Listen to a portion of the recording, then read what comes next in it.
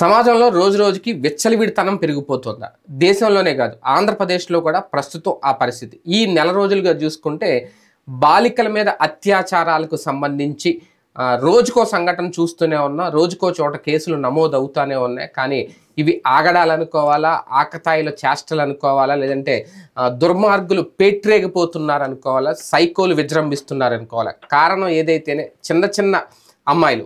బాలికలు రోడ్డు మీదకి వెళ్ళాలంటే అంటే కాలేజ్ అమ్మాయిలు కాదు లేదంటే మహిళలు కాదు ఐదేళ్ళు ఏడేళ్ళు ఎనిమిదేళ్ళు ఉన్న బాలికలు రోడ్ల మీదకి వెళ్ళాలంటేనే భయపడే పరిస్థితి. వాళ్ళ చేతుల్లో దిశ యాప్లు ఉండవు వాళ్ళ చేతుల్లో స్మార్ట్ మొబైల్స్ ఉండవు.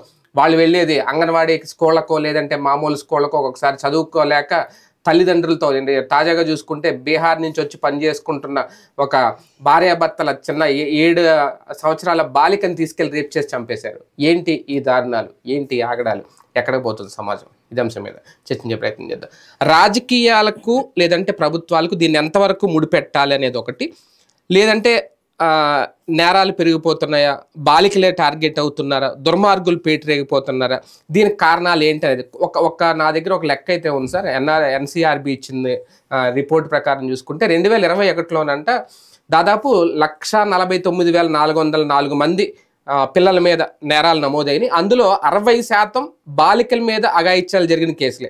రెండు వేల ఇరవై రెండులో చూసుకుంటే మొత్తం ముప్పై ఒక్క వేల ఎనిమిది వందల డెబ్బై ఎనిమిది అత్యాచార కేసులు నమోదైనవి అందులో చాలా విచిత్రం ఏంటంటే ఆరేళ్ళ లోపు బాలికల మీద జరిగిన ఘటనలు యాభై మూడు. పన్నెండేళ్ళ లోపు జరిగింది నూట ఎనభై మూడు. ఇంకా పదహారేళ్ళు అంటే వెయ్యి ముప్పై ఇంకా పద్దెనిమిది ఏళ్ళు పైన జరుగుతున్నాయి. అంటే ఇవి మనం కూడా ఈ రాష్ట్రంలో మన ఈ నాలుగు రోజుల నుంచి మీరు కూడా రోజు ఒక వీడియో చెప్తానే ఉన్నారు దాని మీద.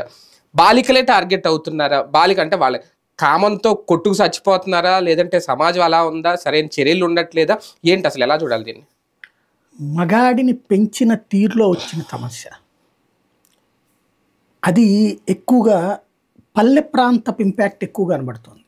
అంటే మనం ఎదవరకటి రోజుల్లో ఇప్పుడు మా చిన్నప్పుడు చూస్తే పక్కింటి ఆంటీ వాళ్ళ అమ్మాయి ఎదురింటోళ్ళ ఆంటీ వాళ్ళ అమ్మాయి అంటే అప్పుడు మాకు చెప్పేది ఏంటంటే అరే చెల్లి స్కూల్ దాకా వెళ్తుందో ఒకసారి దగ్గర ఉంటాను లేకపోతే చెల్లి షాప్ దాకా వెళ్తా అక్క షాప్ దాకా వెళ్తుందంట నువ్వు వెనకెళ్ళరా అక్క చెల్లి అనే మాటని మాకు చెప్పేవాడు.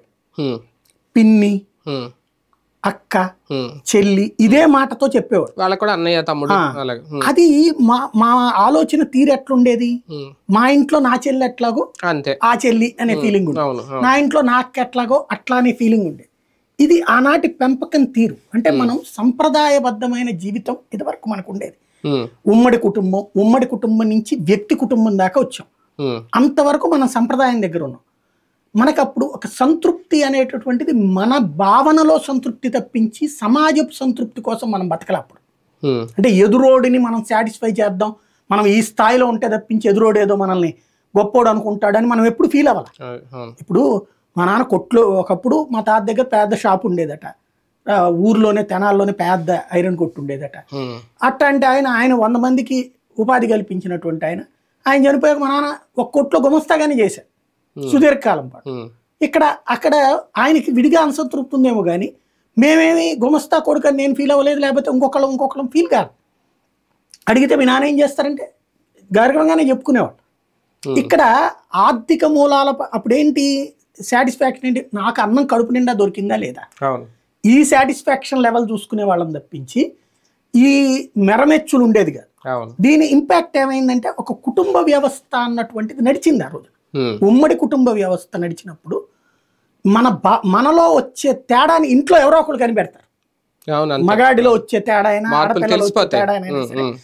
కనిపెట్టి ఎరా మీ వాడు చూడు ఈ మధ్యన ఏదో చేస్తున్నట్టున్నాడు కొంచెం. అని ఎరా మేనల్లుడు నేను అక్క నేను అత్త నేను బాబాయ్ అన్ను ఏంద్రా నువ్వు ఈ మధ్యన కొంచెం అమ్మాయి వెనకాల తిరుగుతున్నట్టున్నావు? ఏంటి నీకు నీలో ఈ పిచ్చ పెరుగుతుంది ఏంట్రా? నీ వయసు ఏంటి నువ్వేంటి? ఈ వయసులో కొంచెం ఫీలింగ్స్ ఉంటాయి తగ్గించుకో. నువ్వు దాని బదులు బాగా చదవాలి లేకపోతే వ్యవసాయంలోకి రా. ఇట్లాగా ఇక్కడే కంట్రోల్ ఉమ్, ఇంకోటి అంతా చూస్తున్నారన్న భయం అవును. ఇది పోయింది. తర్వాత మనం వ్యక్తి కుటుంబాల్లోకి వచ్చాం. అంతవరకు కూడా కంట్రోల్ ఉంది. ఏది? తల్లి మనల్ని ఎప్పుడు ఆలనా పాలన? ఇదివరకు అంతమందిలో చూడలేకపోయినా ఇప్పుడు తల్లి ఆలనా పాలన చూసింది. తండ్రి తగింది చేశాడు. అంతవరకు కూడా ఇంత దారుణం లేదు. అప్పటికి బిగిన్ అయింది. ఎప్పుడైతే మన బిడ్డలు అద్భుతంగా ప్రపంచమంతా మెచ్చుకునేలాగా ఉండాలి లేకపోతే కనుక ఒక చుట్టూ ఉన్న సొసైటీ కోసం మనం బతకడం ప్రారంభించాం. మన కోసం మనం బతకట్ల. మన కుటుంబం కోసం మనం బతకట్ల.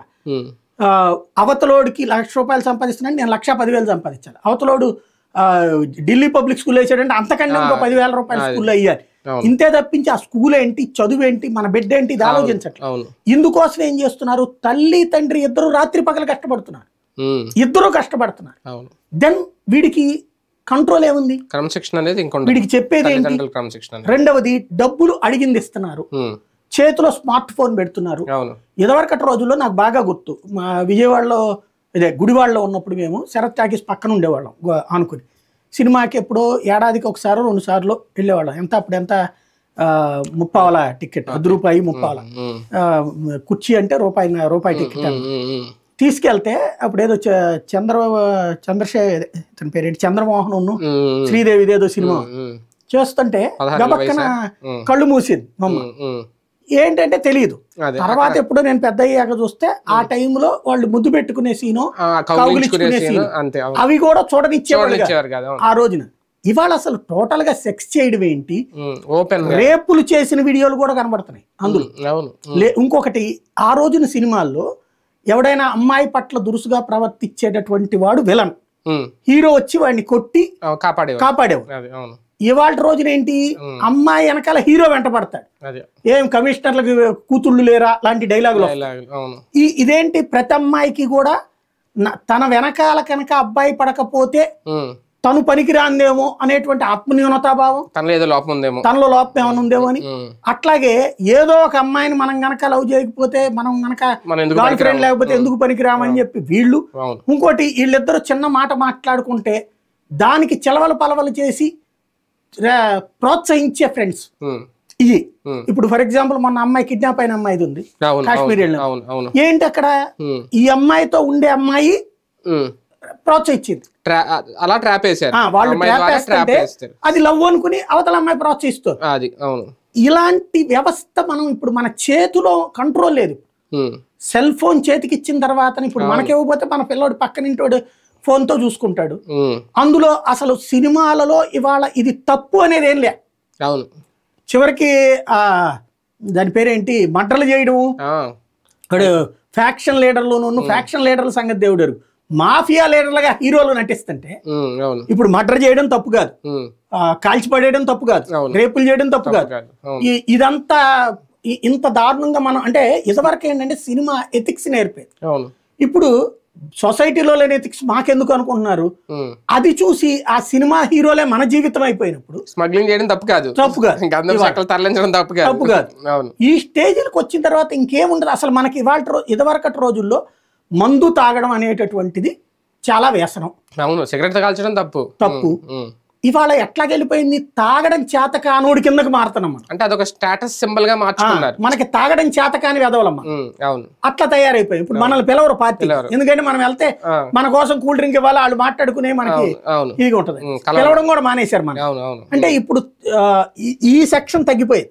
అట్లాగే ఇప్పుడు చూడండి ఆడపిల్ల పట్ల వాడు ప్రవర్తించే తీరుని తల్లి తప్పు పట్టాలా? తల్లి పట్టించుకోవట్లా? తండ్రి పట్టించుకోవట్లా? ఈ ఉదంతో నిన్న నాకు అసలు షాకింగ్ ఏంటంటే వాళ్ళ ఇంట్లో వాళ్ళే ఆ వాళ్ళు చంపేశారని తెలిసి వాళ్ళు ఆ శవాన్ని తీసుకెళ్ళి వాళ్ళు పారేశారు తండ్రి నువ్వు అసలు మనం ఎక్కడికి వెళ్తున్నాం? ఏ అడవిలోకి వెళ్తున్నాం దాని దాన్ని మళ్ళీ మొక్కలు చేశాడట ఒకడు. చేశాడో లేదో ఇంకా తేలలేదు. బట్ ఇన్ని రోజులు అంటే సినిమాల్లోనే కనబడింది. శవం కనబడకుండా ఉంటే చట్టం ఏం చేయి? ఏం చేయలేదు. అట్లాగే మైనర్లకి శిక్ష ఉండదు అన్నటువంటిది ఈ ఈ సినిమాల్లో వచ్చినటువంటి. మైనర్లు అంటే పద్దెనిమిది దాటిన తర్వాత అయితేనే ఈ లోపు అయితే వాడి పేరు కూడా మార్చేస్తారు. ఇదంతా ఇదనేది.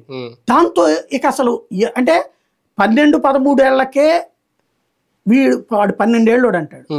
సిక్స్త్ క్లాస్ వాడు అంటాడు చేసింది ఫిఫ్త్ క్లాస్ అమ్మాయి. అదే కదా మనం. మనుషులుగా ఉంటున్నాము. పశువుల్లాగా ఉంటున్నాము. దారుణం. ఇది ఇందులో రాజకీయ స్టేట్మెంట్లు వద్దు. నేనేమంటానంటే ఇందులో ప్రభుత్వం తప్పు లేకపోతే జగన్మోహన్ రెడ్డి జయించాడు. ఆ, ఇట్లాంటి అది ఇదివరకు కూడా చేసిన తప్పదే. ఇప్పటికైనా నేరాల్ని నేరంగా చూడండి. మన సమాజంలో జరుగుతున్నటువంటి ఒక దౌర్భాగ్యకరమైన పరిస్థితి ఏంటంటే పిల్లల మీదన తల్లిదండ్రుల ఆజిమాయిషి లేదు. పిల్లల యొక్క స్వభావం మీదన అదుపు లేదు. దాన్ని కనుక మనం సరి చేసుకోకపోతే రేపు పొద్దున తల్లులకి ప్రమాదమే. ఎందుకంటే ఎవరు దొరకనప్పుడు ఏంటి? అదే కదా. రెండవది ఏంటంటే చాలా ఇందులో క్లియర్గా కనబడుతున్నది ఈజీ ఆబ్జెక్ట్. ఇప్పుడు పెద్దవాళ్ళ దగ్గరికి వెళ్ళి రేపులు చేయాలంటే గనక ఇవాళ ఉన్న ఫిజికల్ కండిషన్లోను. లేదా వాళ్ళు అటాక్ చేయగలుగుతారు. ఉమ్, చిన్న పిల్లలైతే ఏం చేయలేరు. అవును అదే కదా. ఇప్పుడు అందుకని చిన్న పిల్లల మీదకి చేస్తున్నారు ఈ దర ఈ దరిద్రులు. అవును అదే కదా. ఇది ముందు అసలు ఆ మనం దీంట్లో ఏంటంటే తుపాకులతో కాల్చేస్తామా ఉరేస్తామా వీటి మీద ఒక. ప్రత్యేక కోర్టు పెట్టి నెల నెల నుంచి నలభై ఐదు రోజులు ఇప్పుడు కొత్త చట్టాల ప్రకారం నలభై ఐదు రోజుల్లోపు శిక్ష ఉమ్, ఇలాంటి కేసుల మీద అవసరమైతే ప్రత్యేక కోర్టులు పెట్టి కేసు కేసుని వెంట వెంటనే తేల్చేయాలి. నలభై ఐదు రోజుల్లోపు వాళ్ళకి శిక్ష వేస్తే అప్పుడు రెండో వాడు చేయడానికి భయపడతాడు. అది కూడా కఠినమైన శిక్షలు ఉండాలి. ఉరి శిక్షలు ఉండాలా? యావజ్జీవ కారాగార శిక్ష అంటే మళ్ళీ పద్నాలుగేళ్ళు కాదు. జీవితకాలం జైల్లో ఉండే శిక్షలు ఉండాలి. ఆ స్థాయి కాఠిన్యం లేకపోతే చాలా ప్రమాదం. చర్యలు తీసుకోవడం ఒకటి అంటే ఇందులో నేను రాజకీయం గురించి ఎక్కడ మాట్లాడట్లేదు కానీ అవగాహన కల్పించాల్సిన అవసరం వాళ్ళని అప్రమత్తం చేయాల్సిన అవసరం కూడా ప్రభుత్వం మీద ఉంటుంది కదా. ఇప్పుడు అంటే నేను రేపులు పద్దెనిమిది ఏళ్ళు అయిగా మాట్లాడట్లేదు. మరి చిన్నపిల్లలు మరి దారుణంగా ఐదేళ్ళు ఆరేళ్ళు ఏడేళ్ళ మీద ఈ నాలుగు రోజుల్లో అవి మరీ ఎక్కువైపోయినాయి. వాళ్ళకి ఇప్పుడు అంగన్వాడీ స్కూళ్ళల్లో ఎక్కువ వాళ్ళే ఉంటారు. కొన్ని కొన్ని స్కూళ్ళల్లో ఇప్పటికే ఉన్నాయి నాకు తెలిసి గుడ్ టచ్ బ్యాడ్ టచ్ అనేది కొన్ని నేర్పుతున్నారు. అన్ని స్కూళ్ళల్లో లేదు అలాగే. ప్రభుత్వ స్కూళ్ళల్లో కూడా అటువంటిది ఏమన్నా తీసుకొస్తే బెటర్? అది ఆ బాధ్యత ప్రభుత్వం తీసుకోకూడదా? మీకు ఇక్కడ ఒక సమస్య ఉందండి. తీసుకోవాలి కానీ ఇవాళ నా బిడ్డ బాగుండాలని కోరుకుంటున్నటువంటి ఉపాధ్యాయులు నా స్కూల్లో పిల్లలు నా బిడ్డలు అనుకోవట్లేదే. వాళ్ళ అన్నానికి సంబంధించి ఫోటో తీయమంటే తప్పు. వాళ్ళకి సంబంధించి అటెండెన్స్లో ఫోటో తీయమంటే తప్పు అనేటువంటి స్టేజ్లోకి వచ్చేసామే మనం. నెంబర్ వన్ రెండవది ఆ తల్లిదండ్రుల స్వభావం ఎట్లుంది అక్కడ? ఇవాళ మాస్టారు నిజాయితీగా నువ్వు ఇది చేయడం తప్పు అంటే మాస్టర్ మీద కేసులు పెడుతున్నారు. మాస్టర్కి వ్యతిరేకంగా ఉద్యమాలు చేస్తున్నారు. మాస్టర్ నీకు చెప్తే మాస్టర్ని బూత్ చేస్తున్నారు అక్కడ మాస్టర్ని ఇబ్బంది పెడుతున్నారు. మాస్టర్ల మీద కేసులు పెట్టిన అమ్మాయిలు ఉన్నారు. నేను రెండు మూడు సంఘటనలు అప్పుడు మాస్టారు లైంగిక వేధింపులకు పాల్పడ్డారంటే నేను అక్కడ కనుక్కుంటే నాకు తెలిసింది ఏంటంటే వీళ్ళు ఎవరితోనో లవ్ అని చెప్పి తిరుగుతుంటే మాస్టర్ పిలిచి వార్నింగ్ ఇచ్చినందుకు మాస్టర్ మీదనే కంప్లైంట్ ఇచ్చినట్టు. అంటే వెంటనే కీచక టీచర్ అయిపోతాడు. అది మన మీడియా అసలు కనీసం క్రాస్ చెక్ కూడా చేయట్లేదు. వెంటనే పాపం ఎక్కడ అంటే మీడియా ఎక్కడో ఉంటారు వాళ్ళు ఏది చెప్పారు? "ఏ, మాస్టర్ అంటరా? వేసేయండి రా ఇక అతని జీవితం అతని కుటుంబం చేతు కుటుంబం మొత్తం దోష అయిపోయినట్టే కాబట్టి ఇంకోటి తన్నేస్తున్నారు. వాళ్ళ తల్లిదండ్రులు కూడా. ఏం జరిగింది అన్నది. చేసేస్తున్నారు. రోజుల్లో మా మాస్టర్ నన్ను కొట్టారు అంటే మా మా మా నాన్న పరిగెత్తుకుని వచ్చేసేవాడు కాదు. ఎందుకు కొట్టాడని నన్ను కూర్చోబెట్టి నువ్వు ఇది చెప్పకపోబట్టి. మాస్టర్ ఊరకనే కొట్టరు అనేవాడు. ఇప్పుడు అక్కడ మాస్టర్లని ఎలా చూస్తున్నాం మనం? వాళ్ళని దోషులుగా చూస్తున్నాం. కాబట్టి అది. ఆ కోణంలో వందకి ఎనభై శాతం మంది నా పని నేను పాఠం చెప్పేశానా అయిపోయిందా అన్నట్టు ఇంకొక ఇరవై శాతం మంది చేద్దామని ఉన్నా ఈ భయం. ఫేస్ చేస్తున్నారు. కాబట్టి ప్రభుత్వం చెయ్యాలి. చెప్పాలి. ఇది ఒక్క రోజులో పని కాదు. ఇది అందరం సొసైటీలో ఉన్నటువంటి సినిమాలు తీసే నిర్మాతల నుంచి దర్శకుల నుంచి హీరోల నుంచి ప్రతి సినిమాలో కూడా ఇట్లాంటిది జరిగితే తప్పు అనేటటువంటిది. అదేదో ముందు గనక మద్యం తాగితే హానికరం. డ్రగ్స్ అని చెప్పి అందులో సినిమాలో మళ్ళీ అదే డ్రగ్ తాగుతుంటాడు. అదే మందు తాగుతూ ఉంటుంటాడు హీరో. అవి కాదు కావాల్సింది. ఆడపిల్ల జోలికి ఇట్లా వెళ్ళటం అనేటటువంటి తప్పు. ఇలా చెయ్యకూడదు అన్నటువంటి కాన్సెప్ట్ని హైలైట్ చేయకపోతే ప్రమాదం. సోషల్ మీడియా విచ్చలవిడి స్వేచ్ఛ పెరిగిపోవడం కూడా చివరికి అది బాలికల మీద రేపులు చేసే వరకు వెళ్ళిందా? ఖచ్చితంగా సో ఒక్కటండి. ఇవాళ ఆడపిల్లైనా మగపిల్లాడైనా వాళ్ళ వయసుకు తగ్గ ప్రవర్తన లేదు. ఇప్పుడు మా కాలేజీలో మా కాలేజీలో ఉన్న ఆడపిల్ల అందరి పేర్లు నాకు తెలియదు ఎందుకంటే అటు చూస్తున్నాం అనుకోండి ఒక్కసారి ఎరా పెద్దోడు పోయినట్టున్నావు అని లెక్చరర్ అంటే అంటాడు. అమ్మాయిలు అనరు. అమ్మాయిలు అసలు మన వైపు చూసే ధైర్యం వాళ్ళకు ఉండేది కాదు వాళ్ళ వైపు చూసే ధైర్యం మాకు ఉండేది కాదు మనం కొద్దిగా అటు పక్కన కదా బల్లకి కొంచెం తలనొప్పి వచ్చి ఇట్లా పక్కకి తిరిగి అంటే. ఏంట్రా ఆడపిల్లల వైపు చూడడం ప్రారంభించావు? పెద్దోడు పోయినట్టున్నావు? అని మాస్టర్ అనేసేవాడు. భయం వేసిపోయేది. అందుకని జాగ్రత్తగా తలక ఇట్లా బిగబట్టుకుని ఇటే ఉండేవాడు. మొత్తం మీద ఎప్పుడో ఫైనల్ ఇయర్ ఏదో ఈ కాలేజీ ఫంక్షన్స్ అప్పుడు పరిచయం చేసుకున్న పిల్లలు తప్పించి అది కూడా ఎక్కడ మేము వేరే కోణంలో ఆలోచించే తిరిగి చేయలేదు. ఇంకోటి ఏంటంటే మాకు వెనకాల రెస్పాన్సిబిలిటీలు గుర్తుండేది. మా నాన్న ఏంది మా ఇదేంటి అనేది ప్రతి ఒక్కళ్ళం అట్లాంటి బ్యాక్గ్రౌండ్ నుంచి వచ్చినాం. అలాంటి స్టేజీలో నుంచి ఇవాళ రోజున విచ్చలవిడితనం అయిపోయింది. ముందు పిల్లలకి సంబంధించి ఆ అతి అభిమానం అతి ప్రేమ క్రమశిక్షణ లేనటువంటి స్వేచ్ఛ. వాళ్ళ కోసమే మేము బతుకుతున్నామని చెప్పి చివరికి ఆడు మర్డర్ చేస్తే కూడా కాపాడేటటువంటి ప్రేమ. వద్దిది. అది చాలా ప్రమాదకరం. ఇందులో ఉన్న అతి పెద్ద డ్రాబ్యాక్ మర్చిపోతున్నారు. ఇవాళ ఆ ఆడపిల్లని ఆరేళ్ళ పిల్లని తొమ్మిదేళ్ళ పిల్లని అలా చూసినోడు రేపు తల్లినట్ట చూడడం ఏంటి నమ్మకం? ఎందుకు చూడ్డం? వాడు తొంభై ఏళ్ళు ఎనభై ఏళ్ళ వృద్ధురాల్ని ఆ కోణంలో చూసిన దరిద్రుడు రేపు పొద్దున్న తన బిడ్డనట్టు ఎందుకు చూడడం? అదే కదా. ఉమ్, అందుకని ఇది చాలా ప్రమాదకరమైనది. ఎప్పటి నుంచైనా ఎథికల్ ప్రాక్టీసెస్ అన్నటువంటి దాన్ని మనం ప్రమోట్ చేయాలి. సంస్కారయుత జీవన విధానాన్ని ప్రోత్సహించకపోతే మనం మెయిన్ లాజికల్ మిస్సింగ్ ఒకటేనండి. మన సంప్రదాయాన్ని మనం పక్కన పెట్టాం. మన వ్యవస్థని మనం పక్కన పెట్టాం. మన బ్రతుకులో సంప్రదాయం అనే దాన్ని మత కోణంలో చూసాం మతం ధర్మంతో నడిచినటువంటి ఆ సంప్రదాయం మనకు విలువలు నేర్పింది. ఆ విలువలకి వలువలోడ తీసాం దాని పర్యవసానం ఇక్కడికి వచ్చాం. ఎప్పటికైనా మన జీవనంలో మార్పు రావాల్సిన అవసరం ఉంది. లాస్ట్ టైం జగన్ గారి హయాంలో కూడా ఇటువంటి జరిగినాయి. గ్యాంగ్ రేపులు జరిగినాయి. అప్పుడే దిశ చట్టం లాంటిది వచ్చింది. దిశ పోలీస్ స్టేషన్స్ వచ్చినాయి.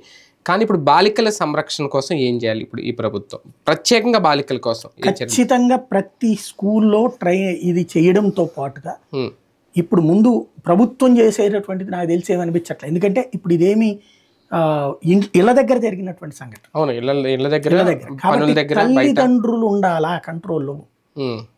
పోలీసులు ఇక ఇళ్ళ ఎంత ఎన్ని వేల మంది ఎన్ని మంది లక్షల మందిని పెడతారు? ప్రభుత్వాలు? వెంటనే ప్రభుత్వం చేయాల్సిన పని ఏంటంటే వేగంగా శిక్షలు పడేలా చేయడం ఇంకోటి భయం కల్పించడం. ఒకనాడు చంద్రబాబు గారు అంటే ఉన్నప్పుడు నేరస్తులకు ఒక సింహ స్వప్నం పోలీసు ఒక సురేంద్ర బాబు ఏవి వెంకటేశ్వరరావు డిటి నాయక్ రామాంజనేయులు ఇట్లాంటి వాళ్ళు అందరూ చేసిన ఎన్కౌంటర్లు ఉన్నాయి చూడండి అయితే ఎన్కౌంటర్లతో క్రైమ్ ఆగిపోదు. భయం వేస్తుంది నేరస్తుడు ఆ భయం పుట్టించగలిగారు. ఇప్పుడు భయం లేదు. ఎందుకంటే పోలీస్ అధికారులకు కూడా ఇట్లాగా ఇప్పుడు సజ్జన్నారు చేశారు. సజ్జనార్ పాప ఆయన ఎంత ఏడిపించుకు తిన్నారు? ఆర్టీసీకి అట్లా కదా లైమ్ లైట్ పొజిషన్స్ నుంచి కోర్టులు తీసేస్తారు. కోర్టులు అదేమంటే సమాజంలో పరివర్తన రావాలంటే ఎట్ట వస్తుంది అంటే మళ్ళీ అక్కడ మానవ హక్కులు ఇవన్నీ వాళ్ళ తరపు నుంచి భయం అన్నటువంటిది ఒక ఆస్పెక్ట్ ప్రభుత్వాలు చేయాలి. అదే సందర్భంలో మోటివేషన్ ఒకటో తరగతి నుంచి ఎల్కేజీ నుంచి ఆడపిల్ల అంటే నీ చెల్లిరా నీ అక్కరా అని చెప్పాలి. అలాగ చిన్నతనం నుండి పెంచేటప్పుడే స్కూల్లోనే సిస్టర్ అని మాట్లాడిపించాలి. ఆ టైప్లో తీసుకురాకపోతే కష్టం. రైట్ చూద్దాం. సమాజం అయితే చాలా దారుణంగా ఉంది ప్రస్తుతం. ఈ బాలికల మీద జరుగుతున్న ఆగడాలు వాళ్ళ సంరక్షణ విషయంలోనే ఒక భయం అయితే పుడుతోంది. దానికి మృగాళ్ళుగా ఉన్న సమాజంలో వాళ్ళే కారణమా? లేదంటే సరైన నిర్ణయాలు సరైన చర్యలు తీసుకోకపోవడం? ప్రభుత్వాలు కూడా స్పందించాలి రాజకీయాలు పక్కన పెట్టి ఇటువంటి వాటిని అరికట్టడానికి ఒక సరైన నిర్ణయం తీసుకుంటే రేపొద్దున్న చిన్నపిల్లల రోడ్డు మీద తిరగడానికి కూడా భయపడే పరిస్థితి ఆల్రెడీ వచ్చేసింది. మున్ముందు ఇంకా పెరుగుద్దేమో అది. చూద్దాం.